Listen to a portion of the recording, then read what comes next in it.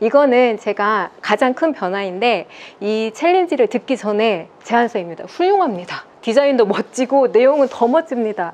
하나같이 마음에 드는 구석이 하나도 없는데 이런 엄청난 잘못된 제안서를 보내놓고 무슨 근거 없는 자신감인지 저는 고대하고 있었습니다. 근데 당연히 하나도 안 됐고 캡처해서 넣은 거, 사진은 뭐 어디서 따온 거, 그리고 관련 강의 출강 이력인데 애니어그램으로 해놓고 어디 가서 사회 봤다. 이런 거를 적어놓은 이런 제안선이 당연히 될 리가 없는데 제 성격상 포기하지 않고 아마 계속 지원을 했을 것 같아요. 그런데 이제 이거를 하고 나서 챌린지를 듣고 이제 강사님하고 컨설팅을 받으면서 깔끔해진 제안서로 바뀌었습니다. 이제 조금은 보이는 것 같아요. 아, 글씨도 이상해졌고 뭐 숫자도 좀 배열이 안 맞아. 이게 지금은 보이는데 이거가 저는 되게 큰 변화라고 생각을 하고 이 제안서가 어떻게 됐을까요?